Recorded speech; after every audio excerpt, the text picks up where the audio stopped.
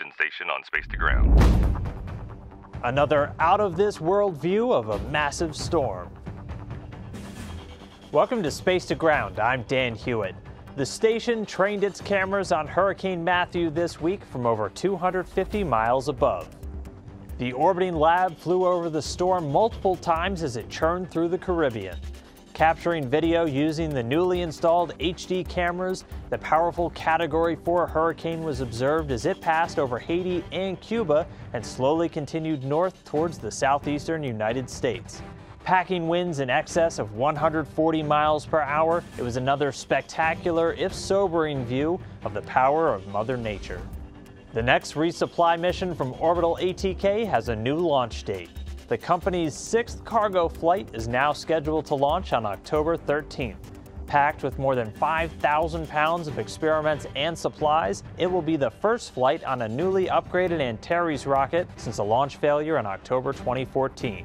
On board the station, Kate Rubins and Takuya Onishi spent the week brushing up on their robotic skills as they'll be responsible for capturing Cygnus once it arrives.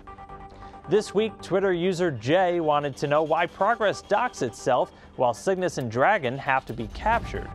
Well, let's look at some of the differences between docking and berthing. A spacecraft docking is essentially a controlled collision and requires extra infrastructure like a docking port to happen something Roscosmos has historically developed for both their Soyuz and Progress spacecraft.